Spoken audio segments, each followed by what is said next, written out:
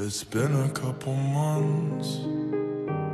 That's just about enough time for me to stop crying when I look at all the pictures.